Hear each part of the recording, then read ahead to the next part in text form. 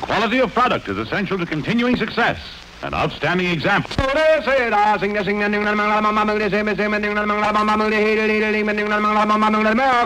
Yes, Lucky Strike means fine tobacco. So round, so firm, so fully packed, so free and easy on the draw. LSMFT.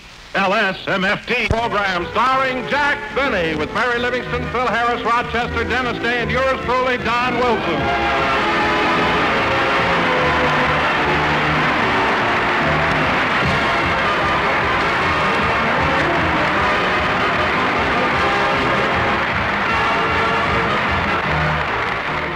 Ladies and gentlemen, since tonight is our last broadcast of the season, I would like to pay tribute to the star of our show. Fifteen years ago, a kind and gracious young man started his radio career at the tender age of 37. I was, I was awfully tender. And tonight, 15 years later, he's still kind, still gracious, and still 37. And here he is, Jack Benny.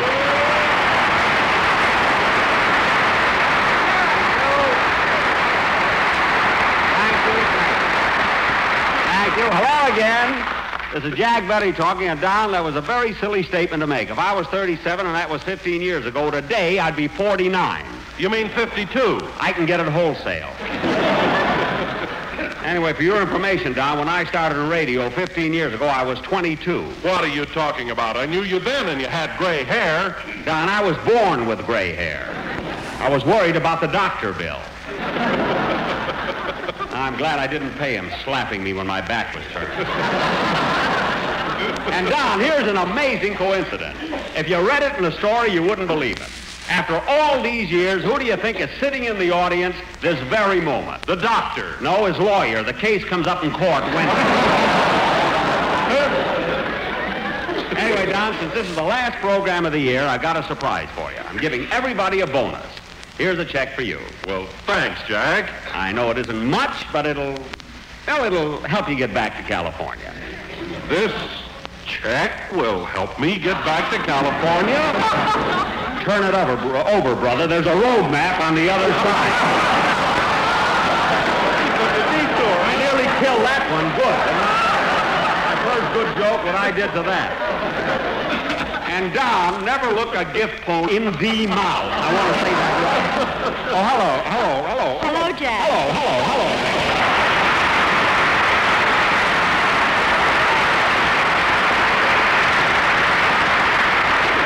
I figure it's the last program. Let's go nuts all together. Mary, I'm glad you came in. I was just telling Don that since this is the last program of the season, I'm giving everybody in the cast a bonus. Oh, Jack, how can you afford it after that bonus you gave me last year? What did he give you, Mary? A dozen bobby pins. You got two dozen. That wasn't your fault. Phil Harris got a short haircut and had no use for them. All right, all right, but this year it's different. Now here's your bonus, Mary. Take this and go out and buy yourself a new dress. Here. Oh, boy, a do-bill at Klein's. Yes, sir. I got that by mentioning them on the air. Uh, when'd you do that? Just now. But, Jack, I was the one that mentioned Klein. Uh-oh, now they owe us another one. Oh, wait a minute, Jack. Do you mean when you mention the name of a product, they give you one free? Well, sometimes, Mary, but you have to do it cleverly. Oh. Which reminds me, Mary, on the way home, I'm going to stop at Plymouth Rock. then I'm going to Pontiac, Michigan. and if I can afford it, I'll take you out some night and show you how a cat'll act.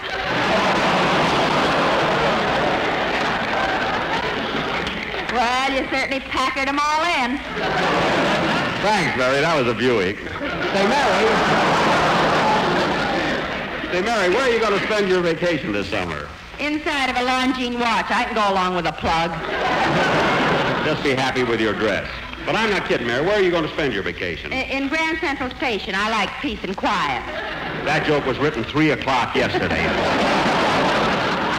it's amazing what 24 hours can do to a gag, isn't it? Oh, hello, Dennis. Hello.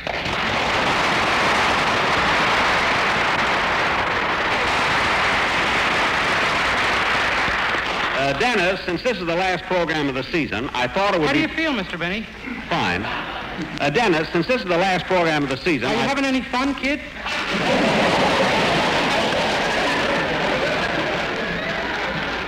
a little. Uh, Dennis, since this is the last program... What day are you going home, Mr. Benny? Wednesday. Uh, Dennis, since this is the last How program, about a bonus? That's what I'm trying to tell you. I'm giving every member of my cast a bonus. Oh, am I a member? Certainly. Is that why you make me pay dues?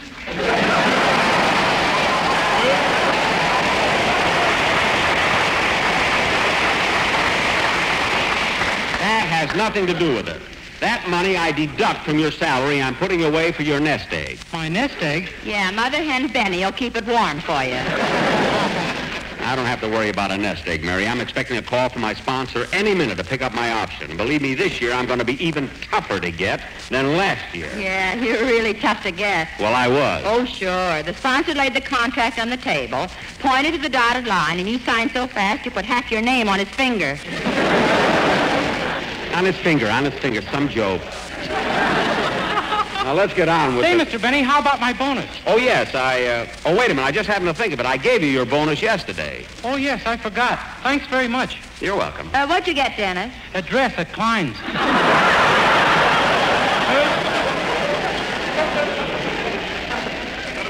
What?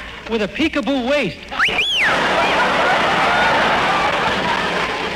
That's to take home to your mother.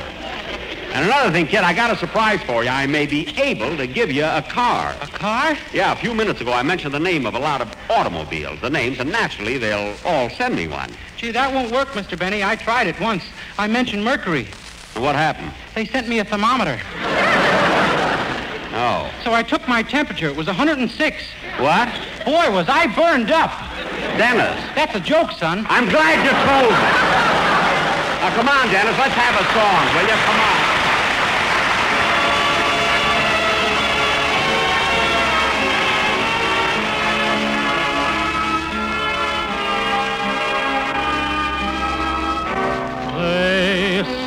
That falling in love. They say it's wonderful from Annie Get Your Gun, sung by Dennis Day. Very good kid, and I'm happy to know that you're going to be with me next season. Mr. Benny, you tricked me into signing my contract. Tricked you? Dennis, your new contract calls for $38 a week. And that's what I'm going to pay you, $38 a week. So how did I trick you? When you held me upside down, it looked like 83. Oh, stop. Why, Jack, that's the silliest thing I ever heard of. If you wanted to trick Dennis, why didn't you hold the contract upside down? With all the pages it had, Dennis was lighter. Yeah. So let's... All right, folks, you can drive that clear. Because Harris is sure to be back next year. I'll be here. Lay that applause on. Yeah. Lay it right on me. That's it. Thank you. Give me enough to run me through the summer, you know. Hey, Phil, I heard that, and you don't have to worry about the summer. I'm giving you and every member of the cast a bonus. Look, Jackson, I know all about your bonuses. If you really want to do something, just give me a little raise in salary. raise in salary. Phil, you're the only man in the country that can't strike because you know you're overpaid now. and you can take that miner's lamp off your head. You're not fooling anybody. If I gave you a raise, I know what you'd do with it. Now, look, you're wrong this time, Jackson. I'm on the wagon. You're on the wagon? The trains weren't running. I had to get on something. Oh. Look, Jackson, I haven't had a drink since we've been in New York. What are you talking about? I saw you in a bar last night. You ordered a double scotch. That was to dip my tie in. Dip your tie in. I can quit drinking the stuff, but I'm not going to stop smelling it. I should have known. When you get undressed at night, you hang your clothes in the closet, put your tie in the chandelier. Hey, Phil, let me look at that tie. Is it pure silk? No, it's a blend. Now cut that out! Imagine dipping your tie in scotch. Yes, sir. I'm the only guy in town with a wet cravat. oh, Harris, when you leave New York, they're going to hang all the comedians at half-mast. The one they should hang, they won't. I mean, see, now you know why I need a vacation. Oh, my goodness, I nearly forgot. Don, hand me that glass of water, please. I want to take this pill. Oh, here you are. Thanks. Jack, what was that pill you just took? Well, after our show tonight, I have to go over and appear on Fred Allen's program. But what was the... Benzedrine. I want to keep awake. Be better off asleep. I wouldn't have to look at those bags under his eyes. Allen's got the only face I ever saw with patch pockets.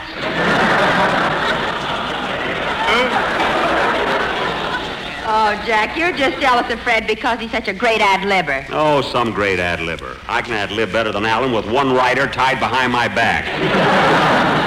Every week it's the same thing. Portland says, Mr. Allen, Mr. Allen, it's time to visit the alley. Shall we go? And then the genius answers. Well, Portland, as one striptease dancer said to the other, let's take off. Those people, and those people he, those people he meets down there, that, that Titus Moody, Howdy, Bob. Dennis.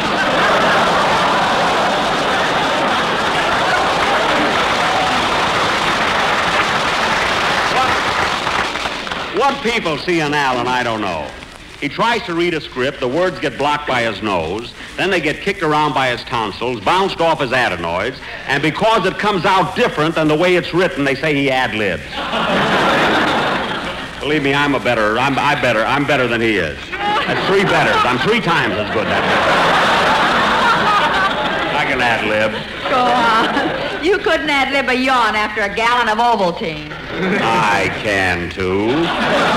Say, Phil, you were on Allen's program last week, weren't you? Yeah. And say, Jackson, you want to know something? What? Did you know that I found out something about Senator Claghorn? Oh, what? He's from the South. No. So help me, Petrillo. Thanks for telling me, Phil. Now, come on, let's have a band now. Okay. Jack, excuse me a minute. Yes, Don. I may not see you after the show, so I just want to say goodbye now. Don, you mean you're in such a hurry to leave on your vacation? Oh, no, no, I'm going to start my summer job for Lucky Strikes. Summer job? Another program?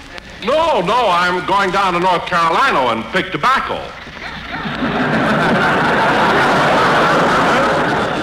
Pick tobacco. Don, you mean our sponsor is making you do that? Oh, no, no, Jack, I begged him for the opportunity.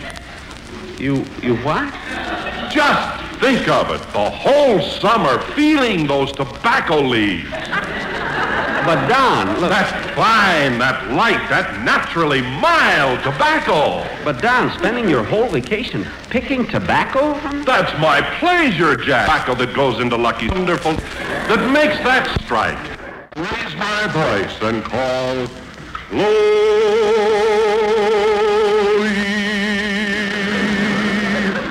I can just hear you doing it. And as I wait by the magnolia tree, Yes? from over the Everglades will come Cleo's answer. That's Chloe's.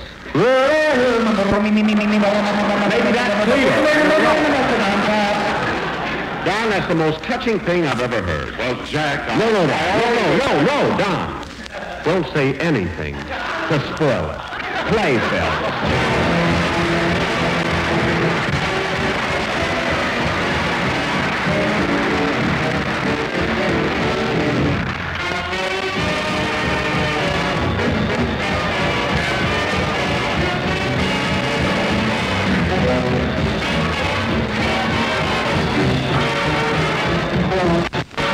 Let me tell you something. That's one on you, Jackson. This ain't even my band. These are New York boys. Well, how'd you happen to pick him up? Easy. I was just walking down the street and they followed my tie.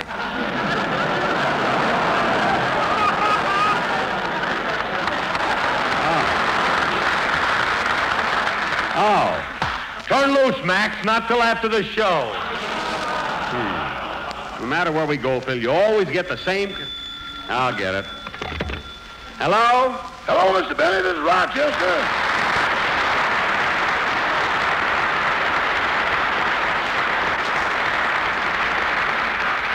What is it, Rochester? I got your trunk all packed and loaded on the mule. Rochester, the railroad strike is over. You got the mule before the strike was on. Well, I'm taking the train. I'm kind of sorry you're not going back with me, but I'm glad you got that nice job at the Zanzibar Cafe. Oh, thanks for letting me take it, boss. Uh, but ain't I the one that's supposed to get the 90%? Yes, but I'm keeping it for you for a nest egg. Well, push the hen off. I'm hungry. It'll be safe for me, Rochester, don't worry. And do a good job at the Zanzibar. I will. And before I hang up, boss, I want to thank you and the cast for coming over Tuesday night. The audience sure laughed when you got up and told those jokes. Yeah, and Rochester, I'll bet nobody there dreamed I'd get up and play the violin. Obviously, the place was full. I don't know about that. They liked it. Uh, by the way, boss, how did you like that routine I did about you and Mr. Allen? Well, I couldn't hear all of it. There was some guy under our table making a lot of noise. Oh, him. That was the plumber Mr. Harris hired. What? He was laying a pipeline to the bar. A pipeline? Big inch yet. Well, that was ridiculous. By the way, Rochester, why don't you sing that song, Accentuate the Positive? I always liked the way you did that. I did sing it. You just didn't hear me. That was when you were arguing with the waiter about the check. I wasn't arguing with him. He charged me too much for the beer, and I was just pointing out his mistake. That was no mistake. In a night club, you don't get a nickel back on the bottle.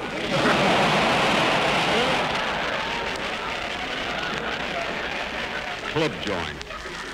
Anyway, Rochester, you go on and have a good time here, and I'll see you when you get home. And by the way, I have a little bonus for you. I'll mail it to you. Never mind. I'll go down to Klein's and pick it up myself.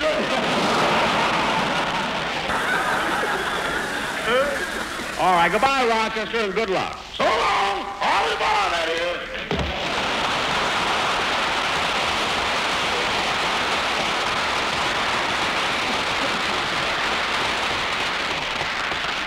Well, kids, in a few minutes, our last program will be over, and we probably won't be seeing much of each other until September. But uh, here are your assignments for this week. On Wednesday night, you must listen to the radio because Dave Rose is going to conduct his Waukegan Concerto, which is written especially for me. And next Sunday at the same time, I want you to listen to the Frank Morgan Show, which is replacing us for the summer. It's going to be great. Frank has always done a swell job, and I know he's going to be back in fine form. And now, kids, before I kiss each one of you goodbye, I want to... Come in? Well, hello, Jack. Hello, Ed. Look, kids, it's Ed Sullivan.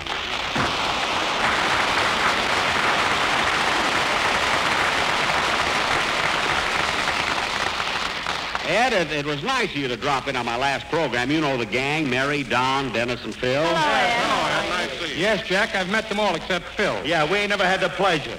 Well, I'll remedy that. Phil, I'd like you to meet Ed Sullivan. Ed is the famous columnist. Well, hello, Ed. When'd you leave Moscow? I said columnist.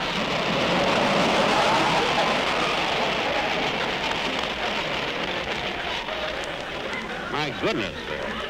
Uh, tell me, Ed, Ed, what's the, uh, him I'm going to have back next year. Phil.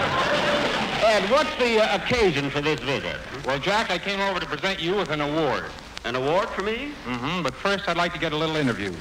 See, our readers would like to know exactly what goes on behind the scenes in a radio show. You know, who are the people behind the performance? Well, let's see. First, I must give credit to my writers. John Tackaberry, Milt Josephsberg, George Balzer, and Sam Perrin. I think they're four of the smartest, cleverest, funniest, and most intelligent writers in the business. Well, Jack, it's very nice of you to say that about your boys. They wrote the line. He had to say it. But Ed, you can take my word for it, they're very clever. Oh, I know that, Jack, and I've heard a lot about them. Jack, isn't it true that Sam Perrin and George Balzer wrote the Broadway show Are You With It? Yes, yes, they did that with my permission. Mm, and didn't John Tackaberry write that song, Pickle in the Middle? Yes, yes, he did that with my permission. And isn't your other writer, Milt Josephsberg, expecting a baby soon? Yes, he, yes, yes, he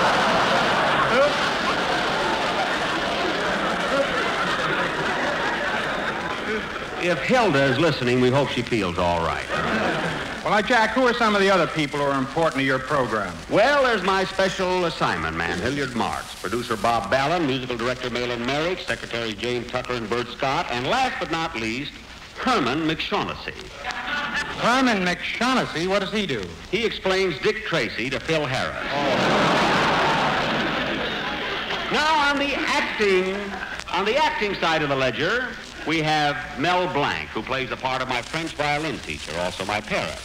Artie Auerbach, the hot dog salesman. Sara Berner and Bea Benaderet, who play the telephone operators. Dick Lane, who plays the part of Steve Bradley, my press agent. Janine Roos, who played Phil Harris's little daughter. Frank Nelson, who always pops up on the show, looks at me and says, Yes? Joe Kearns, the keeper of my vault. Mr. and Mrs. Ronald Colman, who really own this program, but let me guest star on it during the weeks they're off.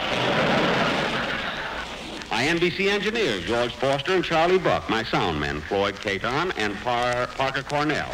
And finally, Wilbur Klingenpeel. Wilbur Klingenpeel? He explains Dick Tracy to Herman McShaughnessy. Well, Ed, I guess that takes care of them all. Unless you want to mention the janitor who sweeps up after the show. No, no, he left me and is now writing for Fred Allen. Uh, now, Ed, how oh, about... Mr. Sullivan, would you mind putting something in your column for me? Why, not at all, Dennis. I'll be glad to. What's the occasion? My mother had a baby. Well, that is news. When? 22 years ago. Dennis. What's his name? Oh, stop it.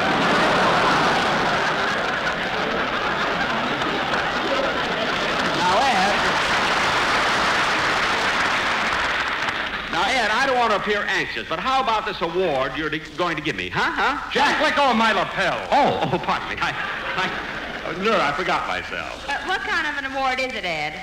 Well, it's called the Ed Sullivan Award for Modern Screen Magazine, Mary, and it's being given to Jack Benny because of his outstanding radio programs during the past season.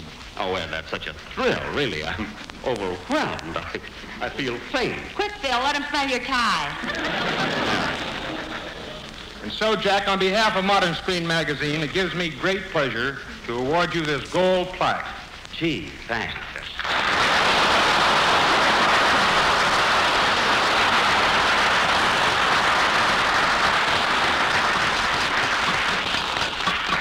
Jack, Jack, Jack, stop biting it. It's gold. Oh, but Ed, this is a, a modern screen award, and I haven't made a picture in two years. That had something to do with it, too. I see.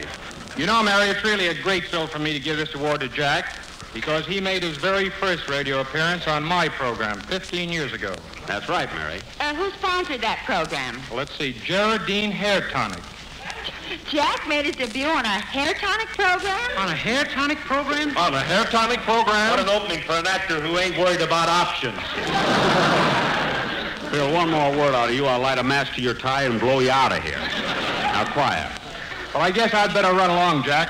Uh, how about another game of golf tomorrow? Certainly, Ed, if you're not afraid that I'll beat you again like I did yesterday. Wait a minute. Say, Ed, did Jack really beat you at golf? Why do you think I had to give him this award? Oh, for goodness sake, Ed, it was our agreement that you weren't supposed to mention that. Now you've spilled the beans. Well, goodbye, Ed, and thanks very, very much. You're welcome, Jack, and so long.